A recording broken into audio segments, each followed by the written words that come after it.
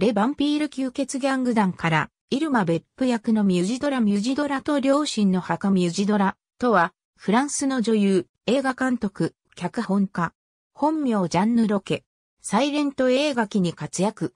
ルイ・フィアード監督のレ・バンピール吸血ギャング団のイルマ・ベップ役、ジュデックスのマリー・ベルディエ役で知られる。パリの生まれ。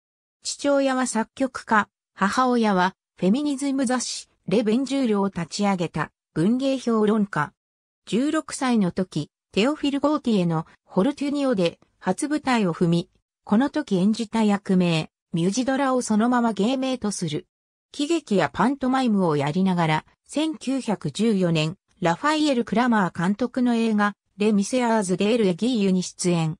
この映画は20世紀初頭のフランスの労働者運動と女性問題を扱った映画であった。1915年、連続活劇、レ・ヴァンピール吸血ギャング団に、女盗賊、イルマ・ヴェップ役で出演。第一次世界大戦中でありながら映画は大ヒットし、ミュージドラを一躍スターダムに押し上げた。同年、ミンネで主演。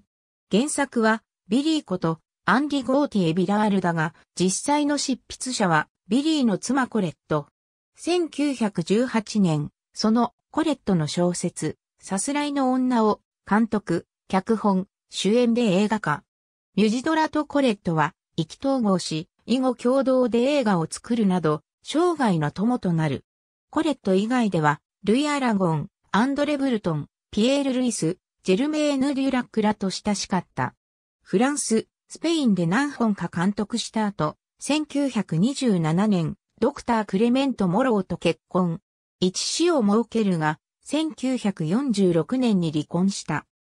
1946年に舞台、ラビセンチメンタルでジョージ・サンドを作、演出した後は、アンリ・ラングロワと共にシネマテーク・フランセーズを設立し、アーキビストとして亡くなるまで働いた。